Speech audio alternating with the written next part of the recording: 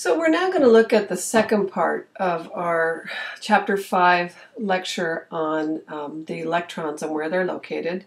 And to understand where electrons are located, we have to understand the behavior of light because the two are connected um, uh, almost interchangeably. So in about the 1600s, Isaac Newton, who you know for his famous, you know, understanding the laws of physics as we know them, for every action there's an equal and opposite reaction, that's the guy. He thought that light consisted of a stream of particles.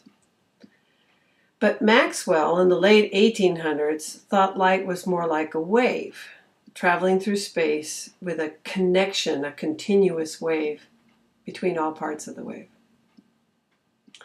And Maxwell was able to calculate the velocity or the speed of an electromagnetic wave and electromagnetic waves, as I mentioned in a previous podcast, could be anything from teeny tiny gamma waves up to um, radio waves. And he found that in a vacuum, the speed or velocity of one of these electromagnetic waves was the same as the speed of light. So over on the left-hand side here, what we're looking at um, are ways to think of light as being either continuous or discrete. So some say light is like a wave. Some people thought it was more like a particle. But in fact, the most modern theory that we embrace to understand the behavior of light and also of electrons is that it has duality. In some ways, it does act like a continuous wave, and in other ways, like a particle. And we'll come back to that and develop this. It's kind of a ooh, sort of far out there kind of notion to grasp at first. So, Max Planck said that the light that we see is consisting of little bundles of energy called photons.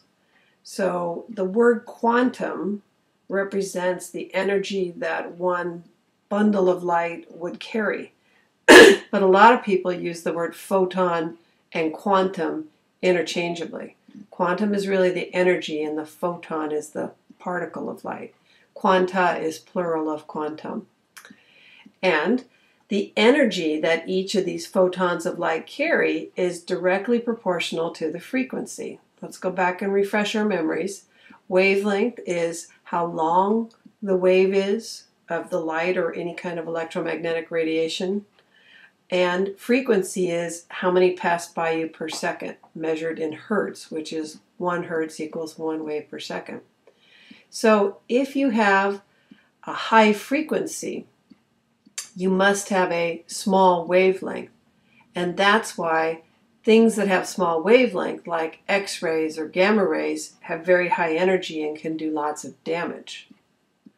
So, this is our quantum theory that each quantum, each bundle of energy, is a specific amount of energy.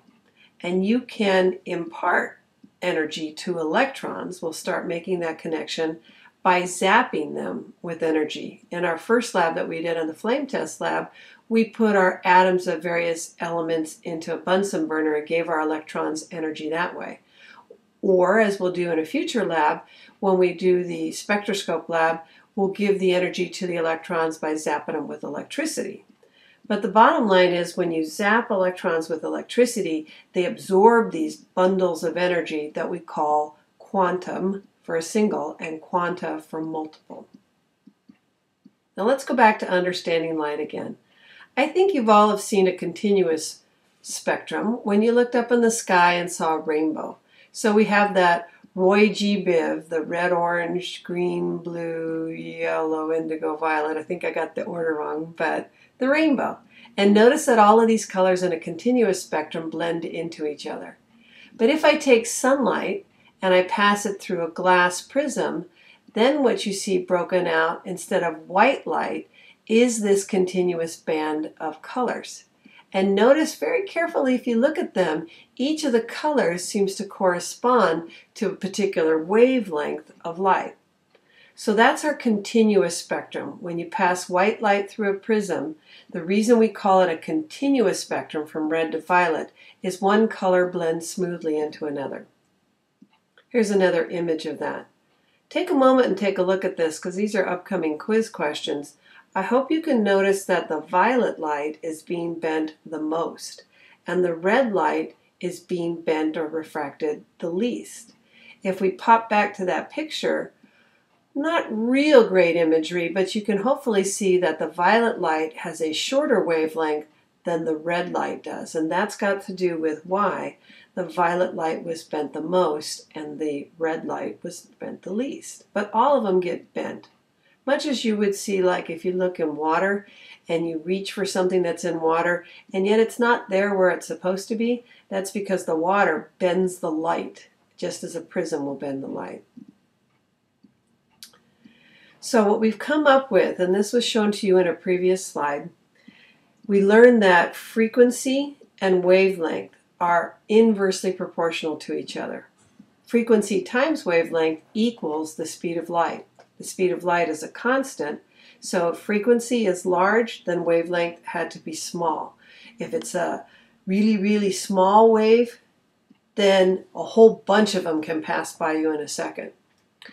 Well, this next equation is a famous equation. The work of Max Planck and Albert Einstein led to this equation. If you wanted to figure out the energy in those little bundles, if you wanted to quantify the energy in those bundles of energy that we call quantum or quanta, then all you need to know are a couple of things.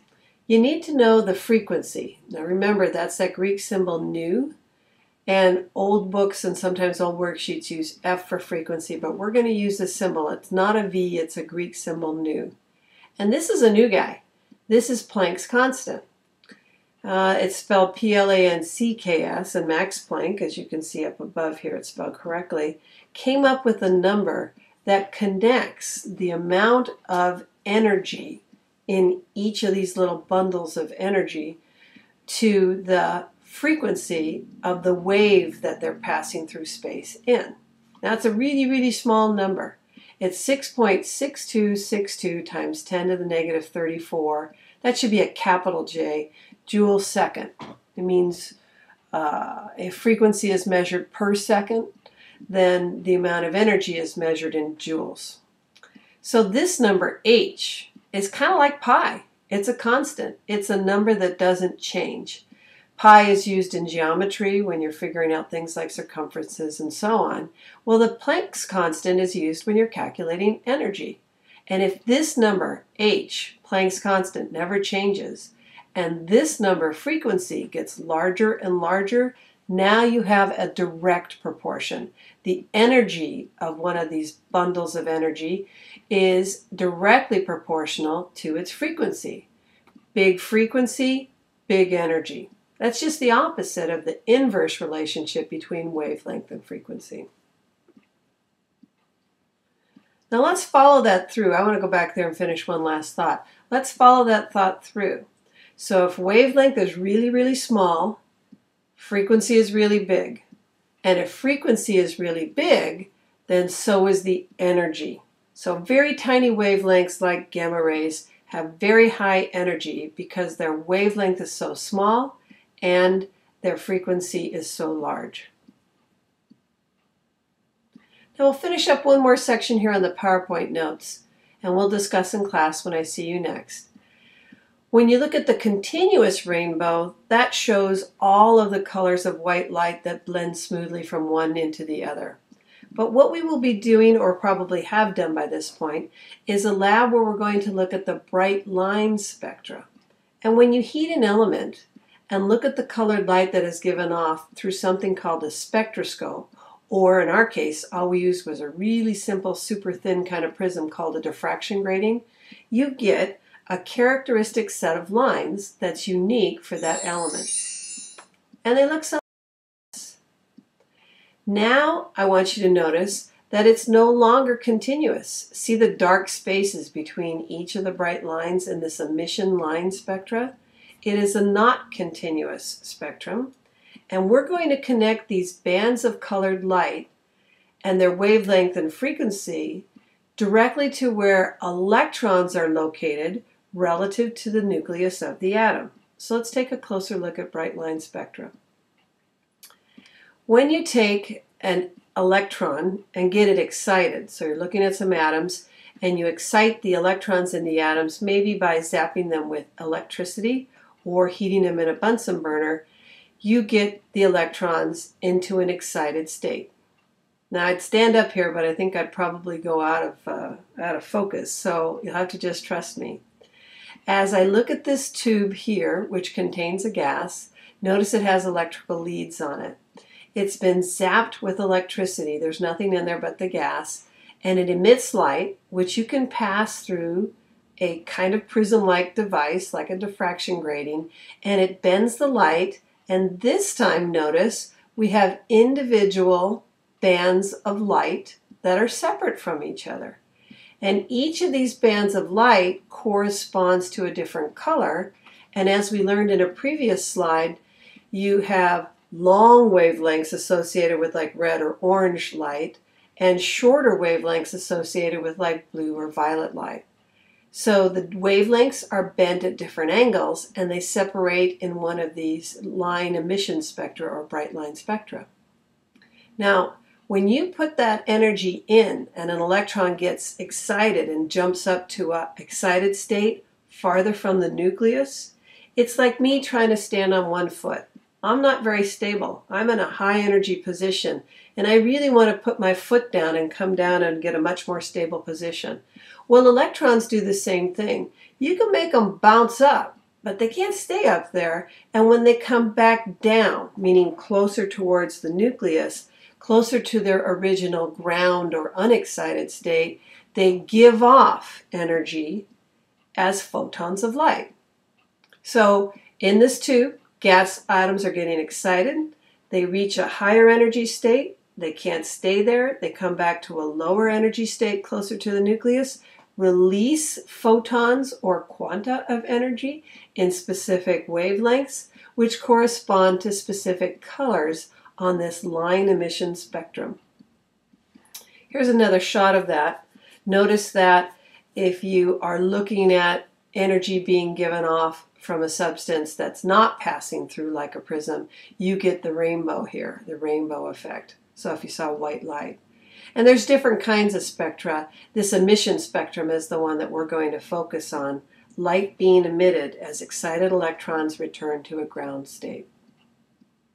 So now if you think about it, we've just got done watching that video on fireworks and hopefully you can understand that the beautiful colors of fireworks come from the fact that you put different elements into each of the exploding shells. And the different elements all glow with a very own unique color because the different elements all have a unique number and arrangement of electrons outside the nucleus. So lithium gives you the beautiful reds, or you get blue-green from copper, or green from barium, or reds from strontium. That's where our fireworks come from. You get the electrons excited in the chemicals that are inside the shells, and as they come back to a ground state, they release the energy in beautiful colors of light. So that's a good spot to stop. We will continue to explore how light is connected to the very important experiments that determine the location of electrons around the nucleus, but we'll pick that up on next section of the PowerPoint notes when we cover the electromagnetic spectrum.